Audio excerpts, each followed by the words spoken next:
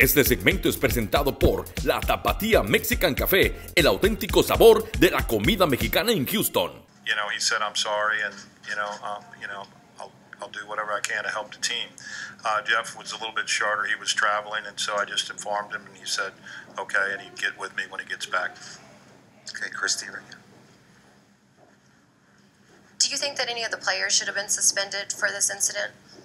Um, I, no players will be suspended from this. You just go into to why you decided to go ahead and fire Jeff and AJ?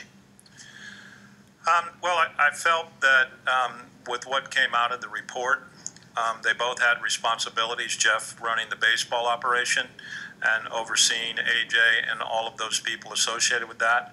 And AJ on the bench and was aware. If you read the report, it's pretty clear.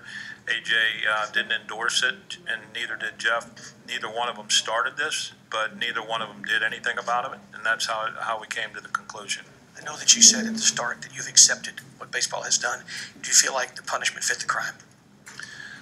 Uh, listen, it, it's it's it's the stiffest penalty that that uh, any team has ever taken or, or given, and we accept that. Uh, we're going to move forward in a positive way. Um, I'll let the commissioner determine how he handles the rest of it. Francisco next. Mr. Crane, you talked about the fact that this is obviously not a very happy day for you nor your organization on a personal level, but at the same time, being that uh, Mr. Luhnow was an architect of this transformation, almost bringing this team from the National League to the American League, does it also concerns you about the uncertainty that the future has in the immediate future of the Astros?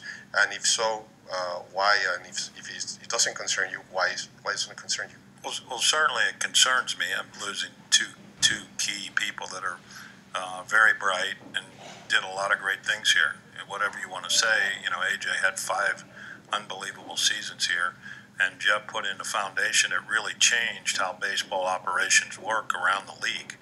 And you know, people can talk about the people that left or weren't hired back, but there's also a lot of people out there that got promoted into GM jobs that came out of this uh, environment. So I don't think it was all bad. I think it was a lot, a lot of good, and some unfortunate um, things that happened here.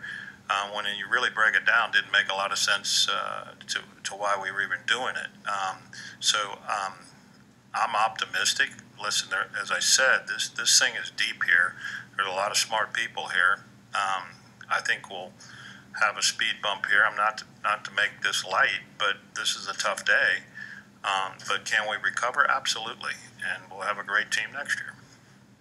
Este segmento fue presentado por La Tapatía Mexican Café, el auténtico sabor de la comida mexicana en Houston.